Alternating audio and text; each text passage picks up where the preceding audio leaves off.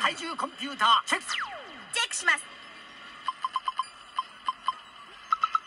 名前デモス種別エンバー生物身長4 0センチか1 1 0メートル重さ2キロか1万6000トン能力口から溶解液を吐く。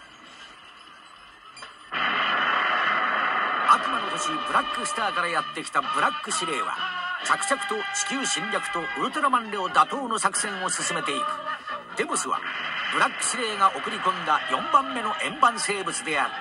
ちょうどクラゲと雲を合わせたような奇妙なスタイルで。だから格闘戦はあまり得意ではない。それもそのはず。デブスはむしろ隠密行動を得意とする円盤生物なのだ。デブスは普段は4 0センチぐらいの大きさになって日常生活の中に入り込んでくる。ある時は雲のように誰にも気づかれないように歩き回り。またある時は長い触手を体に巻き込み飛び回る。デボスは小型化した時の名前を特にデモス Q といい4つに分かれてそれぞれが独自の行動をとれるようになっている。デボスの大好物は人間の血だ。ブラック司令はデボスに人間を襲わせエネルギーを蓄えさせるとともに連続して発生する吸血殺人事件によって社会を混乱に陥れようという考えだった。そしてついにブラック司令の破壊命令が下った。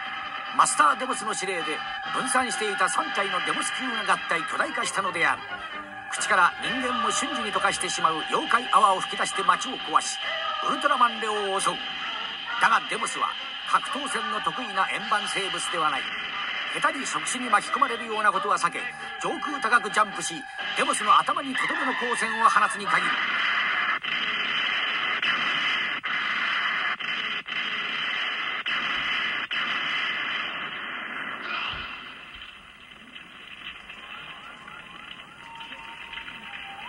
デモスは分離され消えていった。